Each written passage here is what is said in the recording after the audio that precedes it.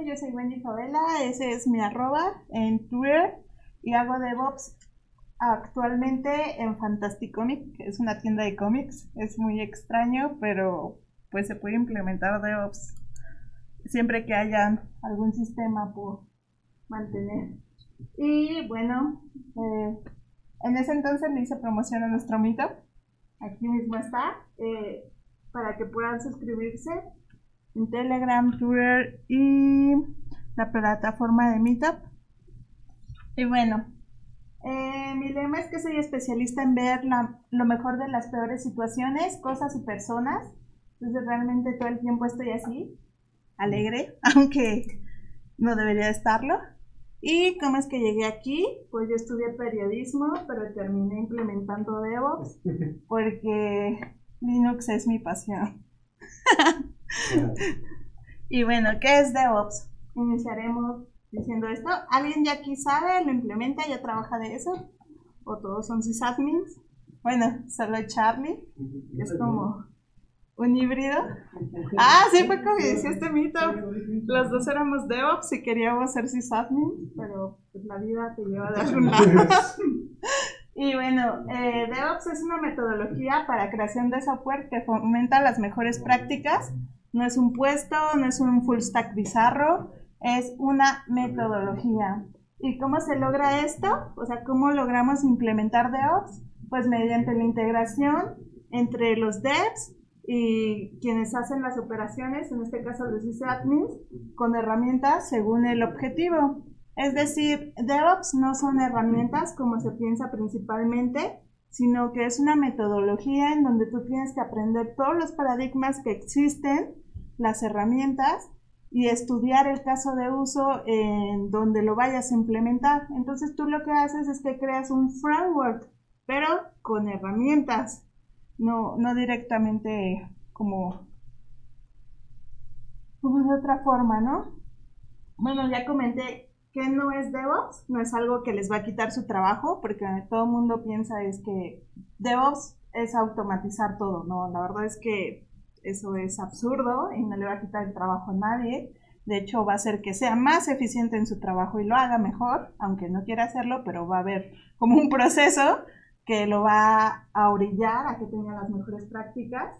Y pues no es automatizar todos los procesos sin sentido, sino que hay cosas que todavía van a mantenerse manualmente o bajo la aprobación de alguien, pero sí va a automatizar todo lo que nos quita del punto objetivo al desarrollar o crear aplicaciones.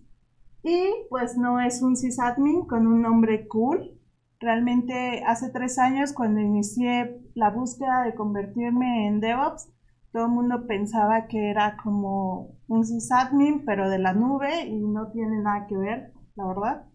Eh, acabo de ir este el jueves y el viernes a una conferencia en Guadalajara que era el DevOps Days, en donde se habló mucho sobre el paradigma, sobre lo nuevo que viene. Y cuando ya te das cuenta de la magnitud de, de toda la gente, de todo el mundo, de cómo lo aplican sus empresas, es que no es un puesto solo con un nombre vistoso, realmente conlleva toda, todo un trabajo, ¿no? Y no consiste en aumentar las responsabilidades solo en una persona, como un full stack bizarro que podría creerse. Venga, entonces ahora sí iniciamos con nuestro Beam Bash DevOps. Y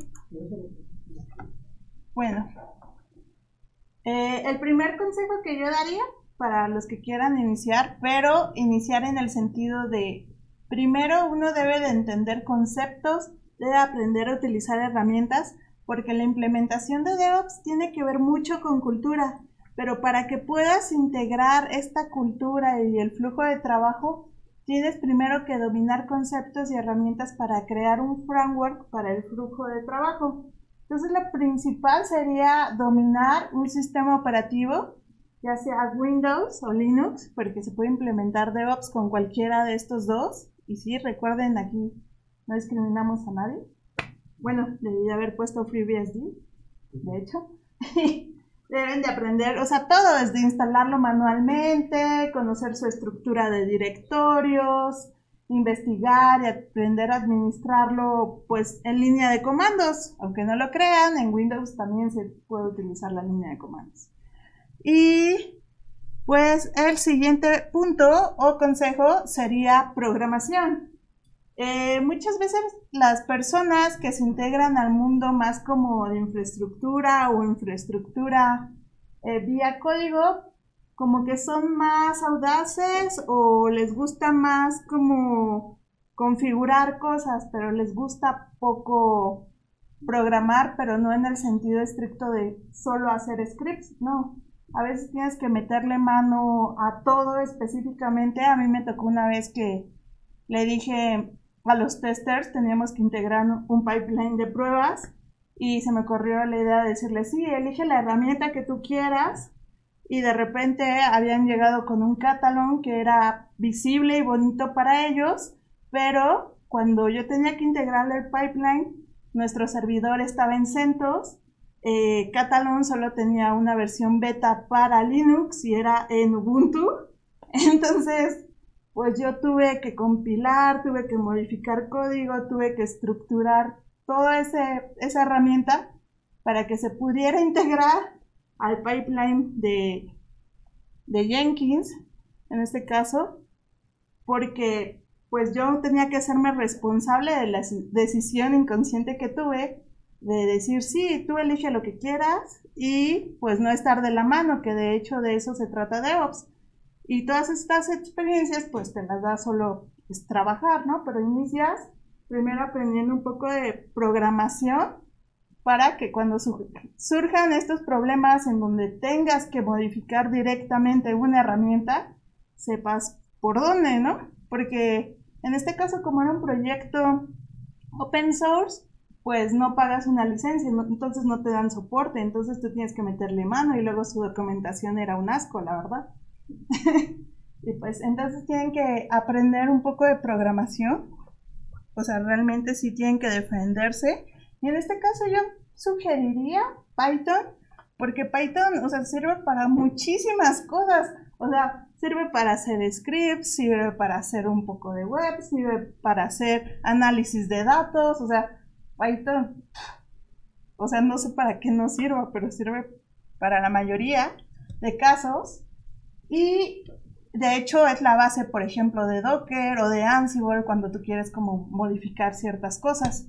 Eh, otro lenguaje de programación que les podría yo como recomendar sería Golang, pero realmente porque pues también es un lenguaje para aprender a programar, pero bien, porque por sí mismo te obliga el lenguaje y porque es bueno también como para hacer scripting avanzado. Igual pues si quieres como regresar a las bases, puedes aprender AWK, Bash, etcétera, ¿no?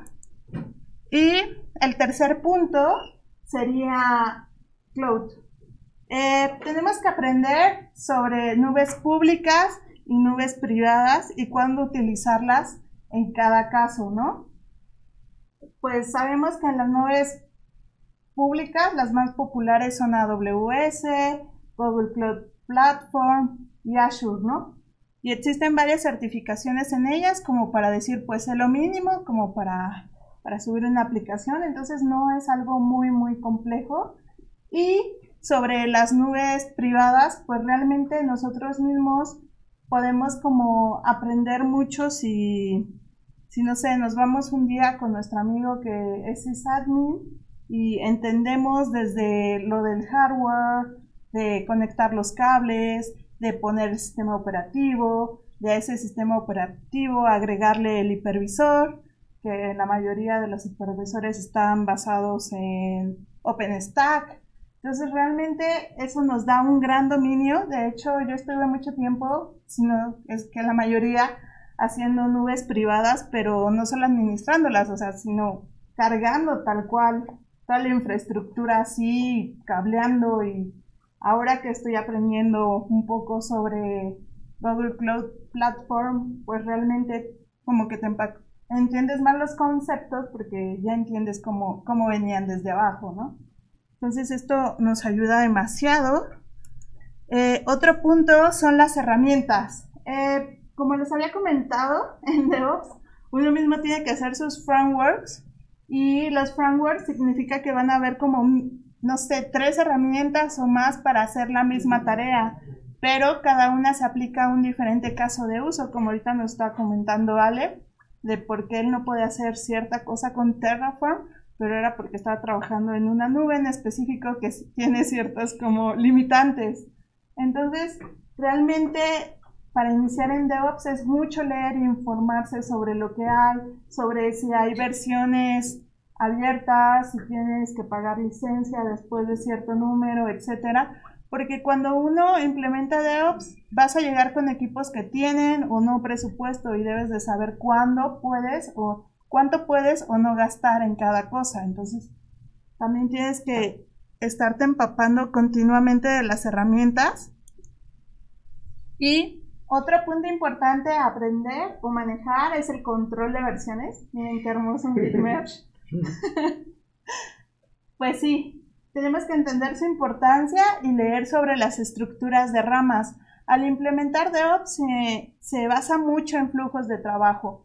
Y cuando uno inicia a implementar un flujo de trabajo, tiene que ver desde cómo uno va a poner cuántas ramas, ¿no? Si va a poner uno dev, staging, producción o si cómo vas, cómo es que vas a pasar, no sé, tu pipeline, cómo es que se va a integrar, si va a ser mediante un push, si va a ser mediante un merge request, si va a ser manualmente que tengan que meter el docker tag eh, explícitamente en, en, Jenkins para que se haga el build. Ahorita pongo Jenkins, pero no se casen, no es el único servidor de integración continua que existe. De hecho, hay mejores, pero ese es el que no, el de licencia libre, por eso todo el mundo lo usa. y bueno, entonces realmente tienen que familiarizarse mucho con eso. Y luego el próximo punto que yo pondría en empezar a aprender es como empaquetar, pero ¿a qué me refiero con empaquetar, no?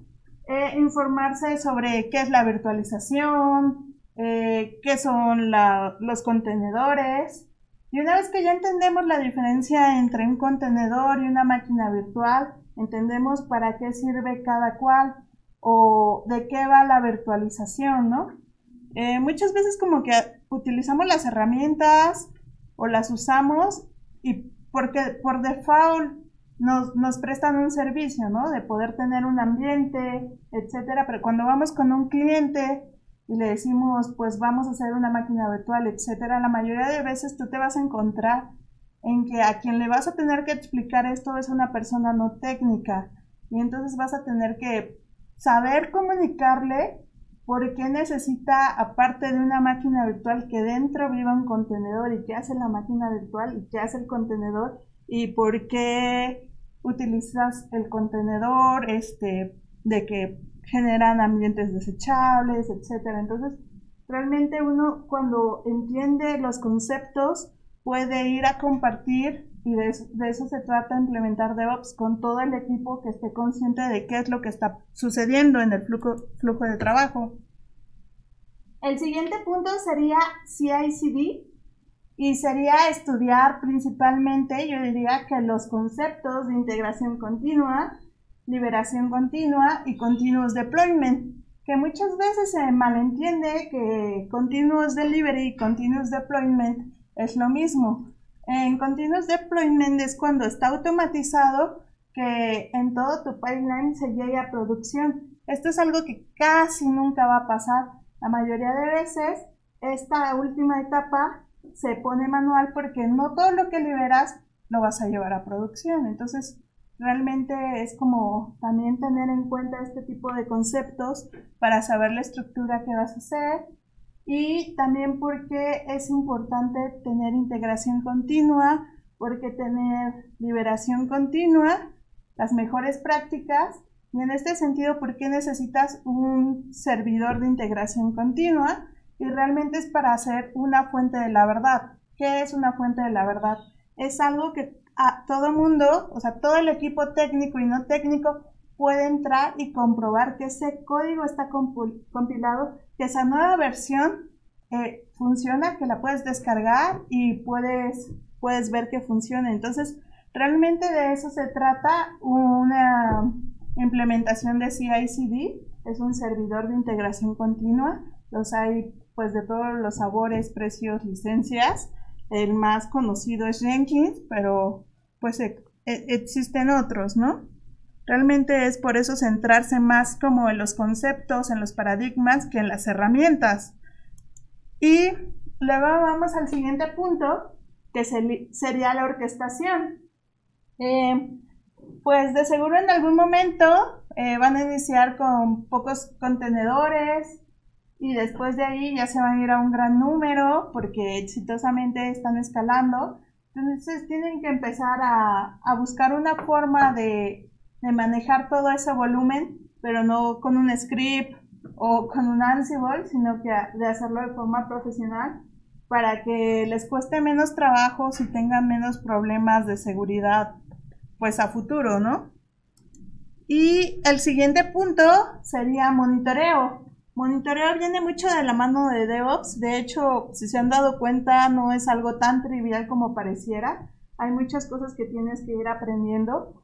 Y dentro del monitoreo, conforme ha cambiado el paradigma, existen dos, de dos tipos. Uno es el reactivo, que llega a tu alarma de que se cayó tu servidor y en ese momento tienes que meterte y solucionarlo y otro es el predictivo, en donde, bueno, se le dice predictivo, pero ahora ya viene el nuevo paradigma con eso mismo de la observabilidad, que es mediante algoritmos que tú creas alarmas para que ellos midan la estacionalidad, o sea, si esto pasa cada cierto tiempo, entonces no se debe de disparar una alarma, es normal, o si esto va fuera del rango y tú puedes saber si, si siempre tienes ese tráfico o está pasando algo normal o va a pasar algo, ¿no?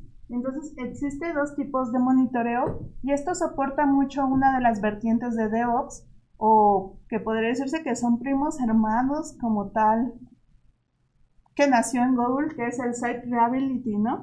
Que tiene que ver con que eh, pues digamos, tú tienes una app y quieres garantizarle al cliente que siempre está arriba, entonces por eso siempre debe haber gente haciendo monitoreo de, los dos tipos, tanto reactivo como predictivo, y tiene que estar solucionando pues esto, ¿no? O sea, el Site Reliability va más allá, pero tiene que ver mucho o va de la mano con el monitoreo. Algunas herramientas pues son con los que pueden experimentar SLK, ese lo pueden instalar así gratuito, está luego luego la, la documentación de cómo hacerlo con contenedores, o sea, está todo muy sencillo.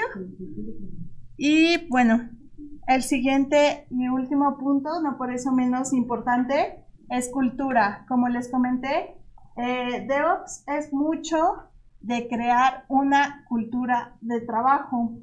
Y para poder crear una cultura debes de poder comunicarte con todos, todos los del equipo. Y los del equipo van a ser chinos, indios, no me van a dejar mentir, de todas partes.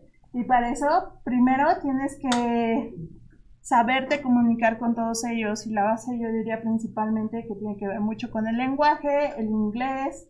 Y pues crear una buena documentación por si siguen insistiendo que no te entienden. Pues ahí está documentado. Eh, por último, pues cuando inicié en DevOps, que fue hace tres años, eh, no había casi empleo realmente. Entonces, pues ahorita ya a diferencia hay mercado. Eh, acabo de conocer otra empresa que no es solo Digital On Use, IT World, creo que se llama, que también es una consultoría 100% enfocada en DevOps. Entonces contratan tanto desde los niveles más bajos hasta seniors y van haciendo las ramificaciones. Entonces, para que vean que sí, ya hay trabajo de eso en México, ya no se van a quedar a vivir abajo de un puente esperando como yo tres años. Y las posibles frustraciones de querer eh, sumergirte en ser DevOps, implementar DevOps, que todos quieren uno, pero no saben qué, qué hace exactamente. Y entonces, pues solo te van a pedir que automatices todo y te vas a frustrar porque realmente de, de eso no se trata, ¿no? Así es como yo me pongo cuando, cuando me piden cosas que ilógicas, pero, pero bueno, solo mentalmente. y luego, la siguiente pregunta, bueno, ya, ya sé de qué va, ya sé que sí hay trabajo en México, ¿cuánto puedo llegar a ganar? ¿No? Sería como algo interesante. Y pues basándonos en la encuesta de salarios de Software Group, iniciaríamos por saber primero cuánto gana el profesionista en tecnología en México, ¿no? Y pues el sueldo está pues entre los 35 mil pesos brutos mensuales.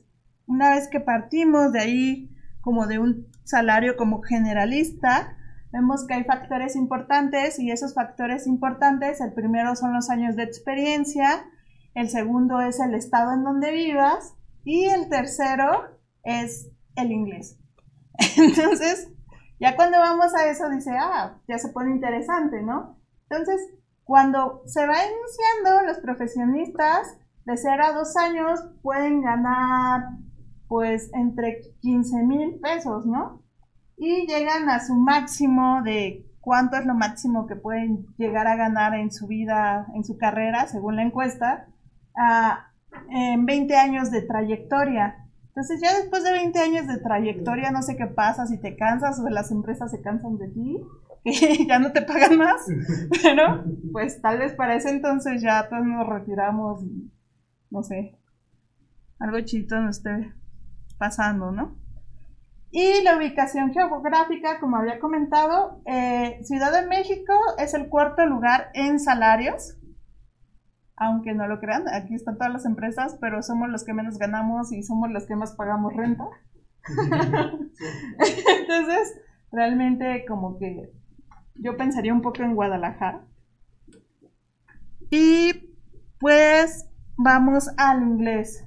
Eh, si piensan que era demasiado importante el título, creo que es más importante el inglés que el título y no por eso estoy diciendo que no se titulen, háganlo, va a estar muy bien, lo que, los que quieran hacerlo, pero si se dan cuenta, un inglés avanzado y los años de experiencia, ¿cuánto va haciendo la diferencia entre los profesionistas? Entonces realmente si vemos, no sé, en tres años de experiencia mudándose a Guadalajara con un inglés nativo, el framework perfecto para ganar dinero. No, es cierto. Pero sí, sería como algo parecido. Y pues como ven, dentro de todo esto que les comentaba, pues importa más cómo uno aprende. Entonces la mayoría de los que somos autodidactas, que aprendemos por nuestra cuenta, pues cómo se va creando el hábito pues nunca lo dejas, ¿no? O sea, como la escuela, pues la dejas, los bootcamps los dejas, los cursos en línea se acaban. Pero si todo el tiempo buscas tú aprender por ti mismo, vas a llegar como a los que van ganando, no tanto, pero un poquito más que el, que promedio. Bueno, dinero, dinero, dinero. Ahora sí vamos a hablar cuánto gana un DevOps. El perfil de DevOps continúa creciendo en salario eh, debido a que ya se empezó a hacer demanda de, ese rol. Les comento como hace tres años ni siquiera existían como que las vacantes tanto aquí en Ciudad de México, o si existían eran para compañías remotas, ¿no? Y ahora pues se está yendo como a unos 45, 44.500. Estamos por abajo de los arquitectos, entonces está bien, ¿no? Todavía nos falta, porque todavía ganan más los consultores y, ciertos perfiles que ya no son tan técnicos, pero pues es como un buen punto a considerar. ¿Y existe brecha de género? Pues sí, o sea, si yo tuviera mi contraparte Wendo, que fuera un niño, tuviera las mismas experiencias de vida que yo, supiera exactamente lo mismo que yo, Aún así, aunque sepamos lo mismo, tengamos la misma vida de experiencia, estemos igual de morenitos y todo eso, él va a ganar más que yo. Porque, pues lastimosamente existe una brecha de género salarial que en el área de DevOps realmente es del 23%. Entonces, cualquier hombre con mi misma experiencia va a ganar el 23% más que yo. No lo digo yo, lo dice la encuesta. no me estoy quejando, solo son los hechos. y a lo que vamos es que... Es que algo importante o que me pareció interesante es que en el puesto, o al menos en frontend, es donde hay una brecha salarial menor que es del 21%. Y esto yo creo que tiene que ver con que al menos los que hacen frontend, como que hay un, un nivel entre hombres y mujeres, como a la par de, de cuántas personas cumplen con este rol. Pero pues sí, esos son como, pues, la brecha de género. Como ven, somos como el tercer, uno de, los, que tienen más. Sí, de hecho, y yo creo que DevOps, si lo dividiéramos, porque de hecho de, de seguro metieron algunos que hacen sysadmin, pero si dividiéramos todavía DevOps y personas que se dedican a sysadmin, a hacer sysadmin, yo creo que todavía habría mucho menos mujeres. O sea, yo me acuerdo que en el data center pues solo estaba yo cuando estaba solita, yo y varios chinitos. Y bueno, eh, mi lema de vida o algo que les quisiera compartir, que no importan las estadísticas, no importa nada, ustedes quieren hacer esto, insistan, resistan, persistan y nunca desistan. Eh, todas las personas podemos hacerlo. Yo, soy, yo me considero una persona común que Linux era su pasatiempos y un día renunció a su trabajo para comenzar a hacer esto. Eh, he estado en empresas chicas, he estado en una empresa grande como Huawei dos años implementándolo. Entonces, realmente yo creo que pues todo tiene que ver con qué tantas ganas tienes de hacer las cosas y cuando tienes ganas nadie te va a decir que no. Y pues ya, por último, este es mi nombre y este es mi arroba y una foto donde me parezco al Dodge. al Dodge. Muchas gracias. Hola, gracias por quedarte hasta el final del video. Recuerda que puedes ver más contenido como este en nuestro canal de todos los eventos a los que asistimos porque we love devs. Y acuérdate de darle like, compartir, suscribirte y darle a la campanita para que estés al pendiente de todo nuestro nuevo contenido. Además, síguenos en todas nuestras redes sociales para que siempre estés al día sobre todo lo que subimos. Además, aquí te dejamos otros videos para que los puedas ver. Exacto. Gracias.